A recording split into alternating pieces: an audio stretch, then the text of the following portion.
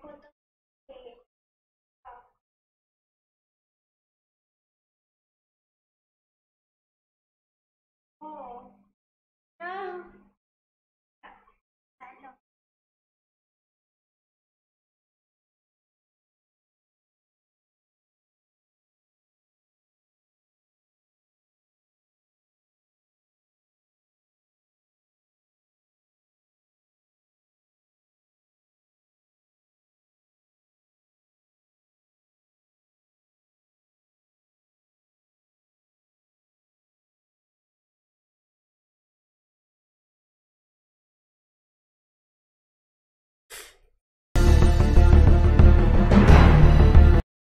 Okey, selamat sejahtera uh, dan Assalamualaikum. Okey, so hari ini kita akan belajar subtopik 8.3.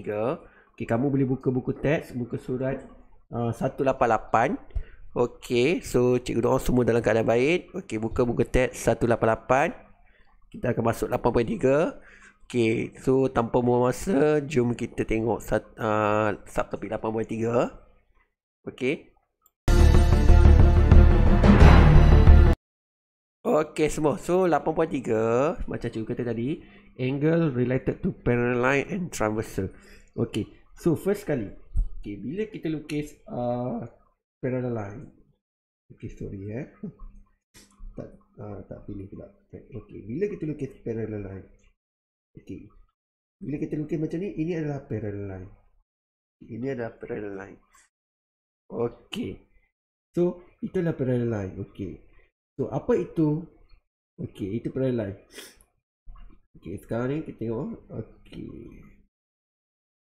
So apa itu uh, transversal? Okey, kat sini kita ada transversal line, lepas tu kita ada transversal. Kita boleh tengok kat sini ya. Okey. Okey. So Okey. Ini parallel line. Apa itu transversal? Okay, transversal apabila Okay, kalau kamu tengok kat buku teks kamu ni dekat sini a straight line that intersect two or more straight line in uh, is known as transversal. Okay, ini parallel line. Okay, transversal apabila kita buat satu garis dia kena dua straight line. Okay. So yang ni kita panggil transversal. Yang ni kita panggil transversal. Okay. Okay. Ini kita inilah kita panggil transversal.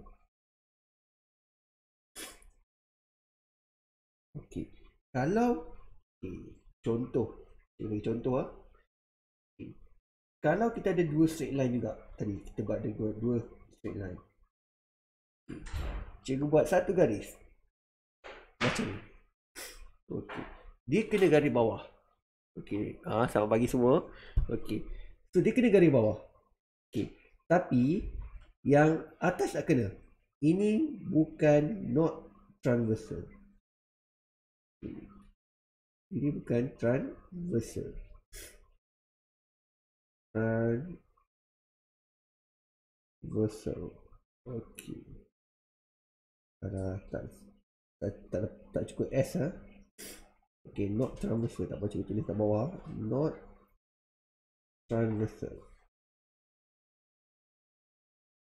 Okey.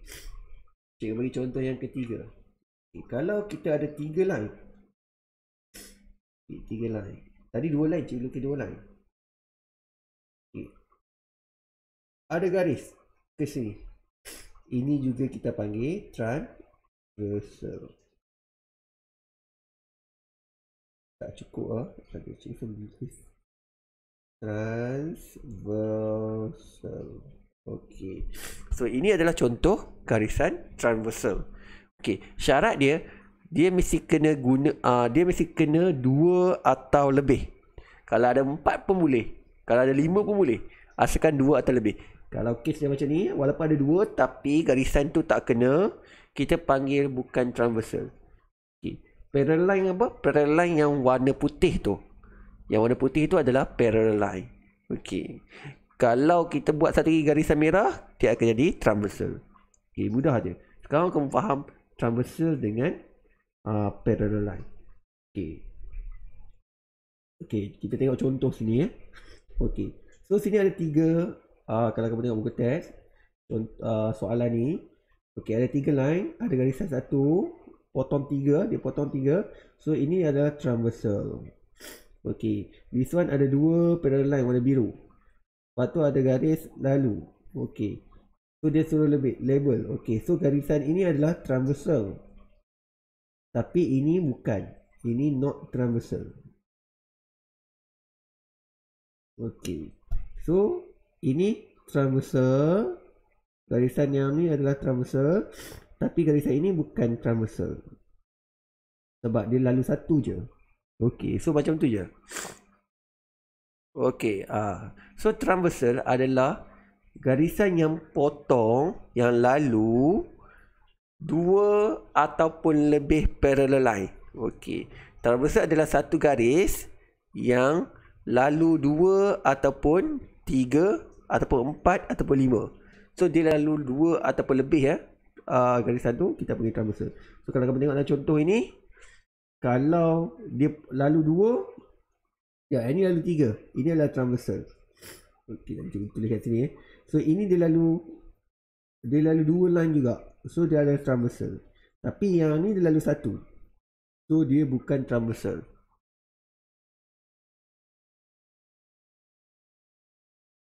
Okey. So transversal mean Okey, kita tengok satu lagi. Okey. Okey, syarat dia dia mesti lalu dua ataupun lebih line. Okey. So, yang lalu dua atau lebih adalah transversal. Okey. So, kalau kamu tengok kat sini. Okey, tengok ah dia punya ayat eh. A straight line that intersect two more straight line in no and transversal. Okey. So, Okey, line dia okey, line dia tak mesti sama. Kamu tengok kalau contoh ini. Okey, dia senang je. Okey, dia tak semestinya sama. Okey. Contoh this one. Kalau kita ada dua parallel line. Okey, bagi cikgu terang sekali lagi ya. Okey. So kita ada satu garis merah. Okey. So garis merah ni kita panggil transversal sebab dia lalu dua line. Okey. Katakan cikgu lukis satu lagi line warna kuning. Here. So ini bukan transversal. Not transversal. Okay. So transversal dia mesti lalu dua. Tak kisah lalu ke mana pun. Dia lalu garisan parallel tu dua kali. Ha, ini adalah transversal. Okay. Ha, itu maksud transversal. Tak semestinya sama. Okay. Dia garisan yang lalu dua straight line. Kita panggil transversal. Okay. Dia mudah aja. Asalkan dia lalu dua line dia akan transversal. Okey. So sekarang daripada transversal tu kita nak tengok corresponding angle artinya angle dengan interior angle. So ada tiga angle. Okey, ada tiga angle lah. Okey, first one. Okey. So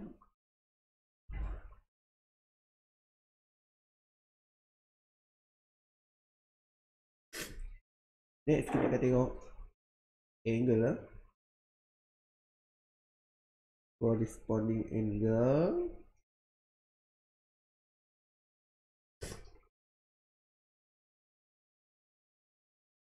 Alternate angle.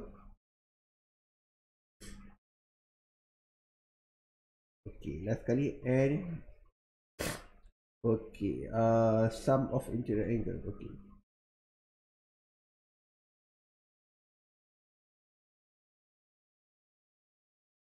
Okay. Alright, okay. So sekarang kita tengok tiga angle ni eh. Okay, daripada transversal line tu, apa yang kita tengok? Kita akan tengok ketiga-tiga angle. Okay, the first one.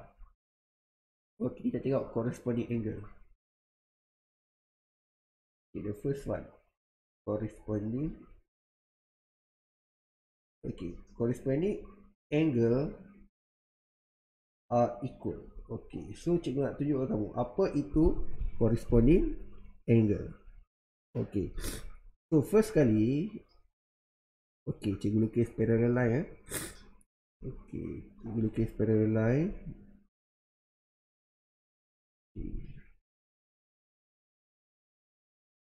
Okay. Lepas tu cikgu ada satu line, satu lagi line yang menghasilkan transversal. Okay, macam tu. Okay, apa itu uh, corresponding angle. Corresponding angle adalah angle yang macam ni. Okay, bila kita ada garisan, angle ni dengan angle ni. Okay, apa persamaan dia? Okay, angle ni A, kalau A 60, ini B pun akan 60. So, ini kita panggil corresponding angle. Okay, so angle A sama dengan angle B. Okey, itu corresponding angle yang pertama. Okey. Kalau kita ambil belah sini.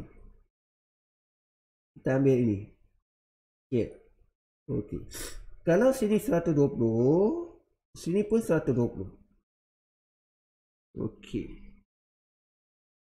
Alright. So so total dia 180 sebab dia straight line. Uh, 120 tambah 60 sama dengan 180 sebab straight line kalau kita belajar yang sebelum ni straight line akan dapat 180 Okey. So kalau sini 120 sini pun 120 dia mesti sama. Ini kita panggil corresponding angle. Okay, kena ingat yang ni. Bila kamu kena ingat kamu ingat yang ni kamu boleh buat soalan nanti. Dia kena ingat ni. Lepas tu kena gabung dengan yang sebelum ni yang kita belajar tu. Yang kita belajar uh, supplementary angle, complementary angle, conjugate angle tu kena ingat eh. Okay. So this one kenapa 120? Sebab sini 60, total straight line 180. Okay. So yang ni angle yang pertama. Okay, bagus. Okay. Angle yang kedua. Okay, kita panggil alternate angle. Okay, alternate angle. Okay. Alternate alternate angle. Sama juga kalau corresponding angle sama, alternate angle pun equal. Uh, equal lah. So dia equal. So macam mana equal? So kita tengok. Jom kita tengok. Okay. So sama juga. Cikgu buat uh, dua parallel line juga. Okay. Dua parallel line. Okey, so kita buat satu lagi. Okay, ya, cikgu buat warna apa tadi? Warna hijau. Okey, kita guna warna hijau. Okey, dia pergi situ. Okey, dia pergi situ ah. Okey, warna hijau. Okey. So, sekarang ni alternate angle. Alternate angle macam ni. Okey. Let's say, okay, this one A. So kalau sini A Okey, katakan cikgu buat ni 50 Okey, dia bentuk Z eh? So sini B juga 50 So A sama dengan B. Sudut A sama dengan sudut B eh? Kita tengok sudut A, kita baca dia eh? Sudut A sama dengan sudut B. Okey dia bentuk Z tau. Nak kenal alternate angle ni senang je. Bila kamu tengok, kamu Z, Z macam ni. Okey, Z macam ni. Yang ni, kalau yang ni 30, sini pun 30. Dia Z. Dia dekat dalam Z tu dekat sini. Kita panggil Z. Kalau kamu tengok uh, soalan ni, kalau kamu nampak bentuk macam ni ya. Okey, yang ni 30, sini 30. Macam tu je. Kamu tengok Z. Bentuk Z eh. Okey. So, dia senang je. Kalau sini 30, sini 30. So, kamu kena pasti bentuk Z. Cikgu nak kamu nampak nampak bentuk Z. Nampak bentuk Z eh. Kamu akan nampak macam tu. Okey. Alternate ingat. Alternate, ang alternate ingat lah dah. Alternate angle ni ingat bentuk Z. Alright. Okay. So, yang uh, seterusnya. Yang ketiga. Okay, yang ketiga. Okay, yang ni ingat bentuk Z. Okay, yang ketiga. Cikgu buat ABC tadi ke? Satu, dua, tiga. Okay, satu, dua, tiga. Tiga. Okay, yang ketiga adalah sum of interior angle. Okay, is 180. Okay. Sama juga, cikgu buat dua parallel line. Okay, nak lukis straight ni payah ni. Ha. Okay, lepas tu cikgu ambil satu lagi, buat transversal line. Okay, so apa maksud dia? Kalau kita ada dua uh, angle kat sini, katakan kita ada A, sini B. Okay. Kalau sini 60 kita tambah dua-dua kita akan dapat 180 so kalau 180 kalau 180 ini 60 nak bagi 180 yang ni kena jadi 120 so angle A plus angle B kita akan dapat 180 Okey, ini adalah interior angle. Interior angle lah. Kalau kita tambah interior angle, kita akan dapat 180. Alright. Okey, so sekarang kita nak tentukan how determine whether two straight line are parallel. Okey, kat sini ya. Okey, kat sini ada example lah. Okey. So, parallel kalau kita okey, first kali kamu tengok ah, kalau dalam buku ni Okey. First kali, kita nak tahu macam mana? Kita tahu melalui dia punya properties yang ketiga cikgu ajak tu. Yang ketiga cikgu ajak tu. Kita tengok alternate angle ataupun kita tengok corresponding angle ataupun kita cari dia punya sum of interior angle. Kalau interior angle tambah dapat 180, dia adalah parallel. Kalau kita cari dia punya alternate angle sama, dia adalah parallel. Ataupun kalau kita cari dia punya corresponding angle sama, dia adalah parallel. Okey, contoh. Okey, contoh sini. Okey, angle ni dengan angle ni sama. Okay, dua-dua sama. So dia adalah parallel. Okey, macam tu je. Okey. Macam tu je. Okey, yang ni adalah uh, alternate angle ni atau angle dia bentuk Z tapi Z dia bentuk macam ni ha. so dalam sini ini dalam ini bentuk Z ini Z ok senang je so ini alternate angle bentuk Z so dua-dua sama dia adalah parallel ok macam tu je kalau kita nak determine dia parallel ke tak ok so this one corresponding angle so sama so dia parallel Okey. So dalam kes ini, kita cari dia punya corresponding angle. Corresponding angle dia tak sama. So, yang ni 120, yang ni 124. So, yang ni adalah corresponding angle. Okey, corresponding angle. Corresponding angle tak mesti ke bawah dia. Ke tepi macam ni pun boleh jadi corresponding angle. So, 120, 124. So, yang ni dia tak sama. Dia not parallel. Okey, ha, macam tu je. Kena tahu dia parallel ke tak. Kita tengok dia sama, ataupun hasil tambah kalau interior angle hasil tambah dia 180 Okey, ni cara nak tentukan sama ada dia parallel ataupun tak. So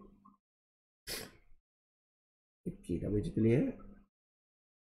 How to determine Okey, how to determine whether Okey. two straight line up parallel Okey, ni soalan dia macam mana kita tentukan Okey, cara dia adalah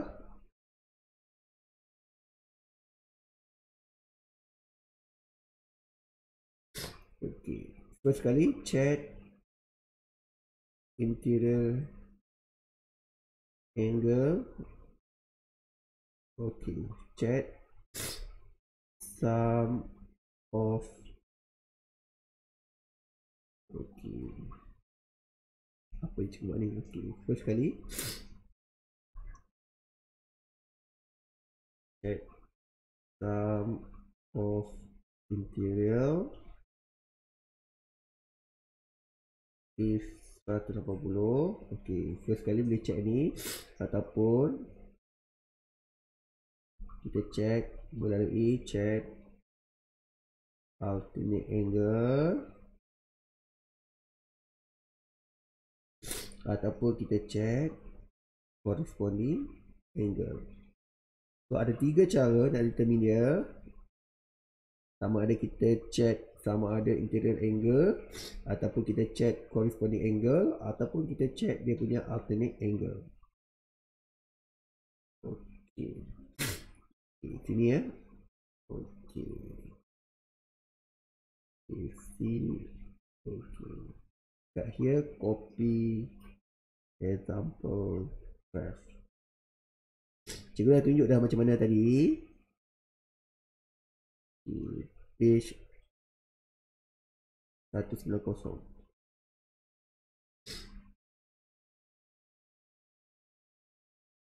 Okay So kita tengok dah. Alright. So sekarang ni kita tengok Angle of last kali Dalam satu topik kita Okay. Angle and elevation and angle of depression. Okay. Last kali. Okay. Angle of elevation. Okay. And angle of depression. Angle of depression. Okay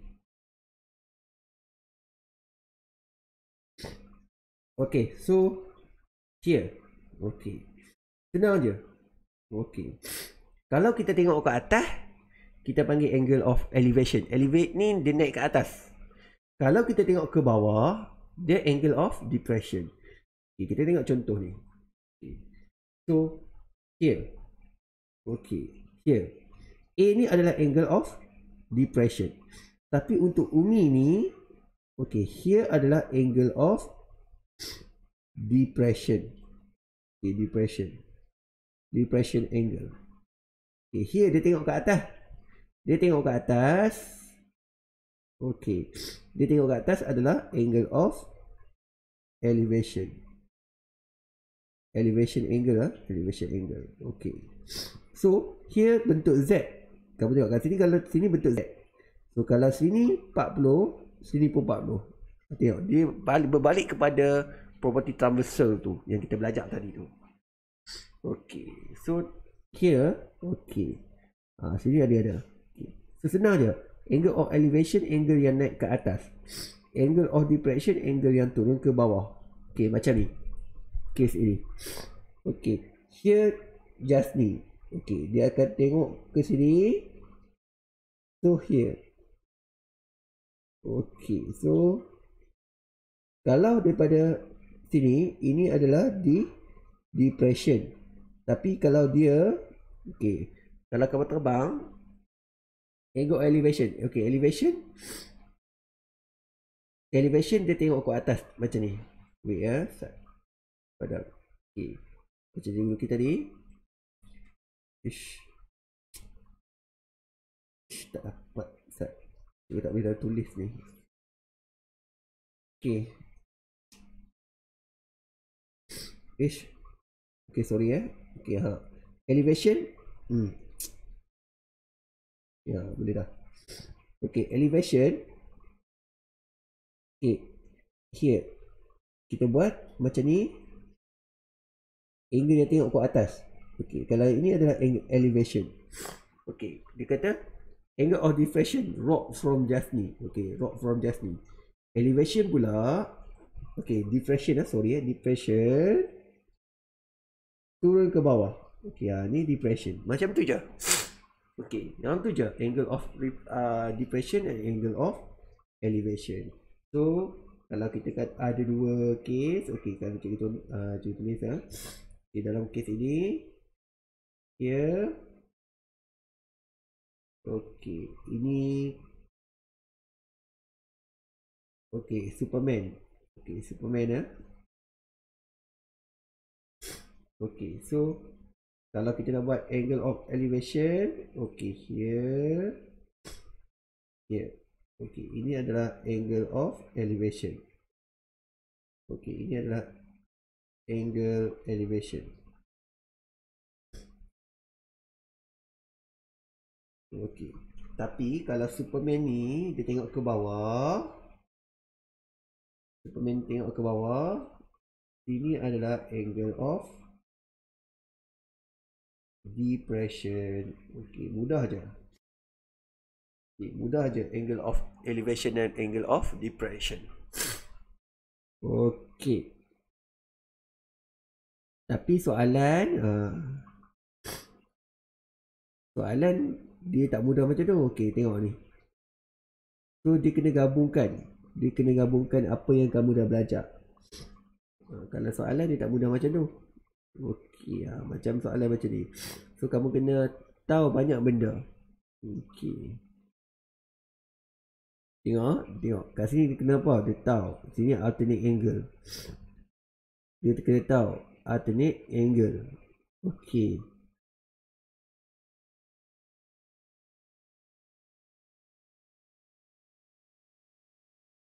Sini sini dua-dua ni alternate angle. Okey.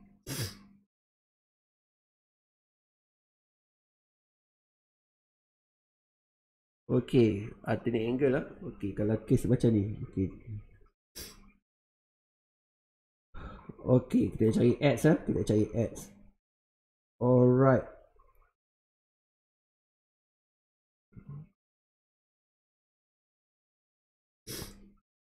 Okey. Mana ni? Okey. Alright ni, here. Okey, first kali. Okey, bila kita buat macam ni. Okey, ini ada straight line. Okey, mula-mula macam ni, uh, bila kamu nak buat soalan macam ni, kamu kena cari parallel line. Okey, ni ini parallel line. Ini garisan transversal. So, ini nombor dua. Automatik kamu akan tahu ini adalah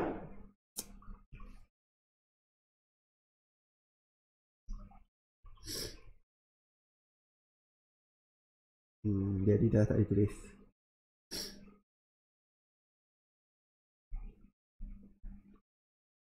Okey, alah, tak apa, kamu boleh tengok tengok. Okey, sini nombor 2. Okey, here pun 62. Kenapa tak boleh tulis ah? Cikgu dah kadang-kadang dia jadi macam tak boleh tulis. Okey. Okey.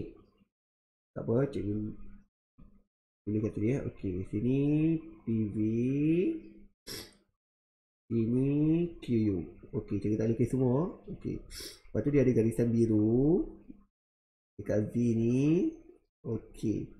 So, cikgu tunjuk kamu. Okey. Okay, lepas tu garisan biru satu lagi. P ni. P dekat sana. T. Ini A. Okey. Lepas tu dia ada S. Okey. Lepas tu dia ada S lah. Biru tu S. Tiba-tiba ada S kat sini. Okey. Dia macam ni lah. Lepas tu jadi dia gabung dengan R. Okey.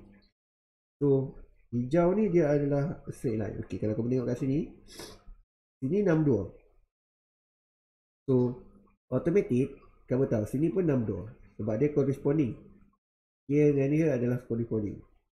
Okey, yang ni 110. 110. So, ini bentuk Z. Kita cari Z dia kat mana. Okey, Z dia here. Okey, Z dia macam ni eh. Kalau kamu tengok Z dia macam ni. Z dia tak nampak macam Z sangat. Ha, dia macam tu. Kalau sini 110 sini pun 110 okay, ha, dia macam ni. Ha, kalau kita tengok kat sini sini 110 dekat Z dia okay. ha, dekat sini. Ha, Z dia dekat sini dua ni. Dua sini adalah dia punya Z dia. Ni 110 yang dua-dua ni pun 110 so, maksudnya X kat sini. Okay, so kalau ni 110, nak cari X. X tu sama dengan, kita tahu jumlah dia 110, tolak dengan 62. So, kalau tolak 2 ni dapat 48. Okay, kita orang sini 48. So, paling penting bila nak buat soalan ni, paling penting bila nak buat soalan ni, kamu kena tahu. Kamu kena tahu alternate angle. Mata kamu kena tajam. ah. Kamu kena pandai, kena cari corresponding angle. Kamu kena cari benda tu. Lepas tu tengok. Dia guna tiga-tiga tu. The sum of interior angle pun dia guna. Semua dia guna. Everything yang cikgu ajak sebelum ni semua guna. Dia gabung semua ni. Lepas tu dia gabung pula dalam elevation dengan depression. Okay. So, tak, cikgu nak kamu copy example 15 muka surat okay, cikgu dah tunjukkan satu soalan tu satu empat okay. ini adalah example 15 muka surat 194 eh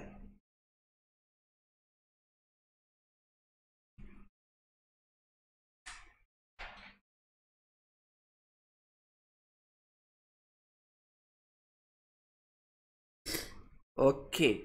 Alright. So dengan tu kita dah habis dah untuk hari ni. Okay, kita dah habis dah untuk hari ni. Okay. So apa yang cikgu nak kamu buat? Okay. Ada masa lagi kan ni?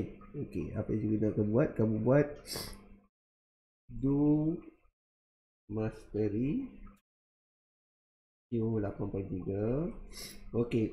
So nanti bila dah siap hantar kat dalam grup ah. Bila kamu hantar kat grup, kawan-kawan kamu yang tak tahu boleh tengok ah. Boleh tengok sama. Okey. So dengan ni kita habis chapter ni, nanti akan masuk chapter baru. Alright. So cikgu harap uh, kamu boleh buat kerja yang cikgu bagi ni, buat dengan tenang, jangan risau. Okey. Kalau tak faham nanti kamu boleh tengok dalam grup ah, kawan-kawan kamu ada buat, nanti kita akan masuk basic polygon untuk next chapter. Okey. So cikgu rasa itu je untuk kelas hari ini. Kalau ada apa-apa masalah, kamu boleh uh, kamu boleh tengok dalam uh, grup. Okey, kalau kamu tak faham, kamu boleh repeat lagi ya. Kamu boleh ulang, ulanglah banyak-banyak. Ya, must do all question ya. Kena buat semua question tu. Okey. So, cikgu ucapkan terima kasih kerana bersama dengan cikgu pagi ni. Okey, so di rumah stay safe. Jumpa lagi nanti next class. Assalamualaikum dan selamat tengah hari semua. Okey, bye.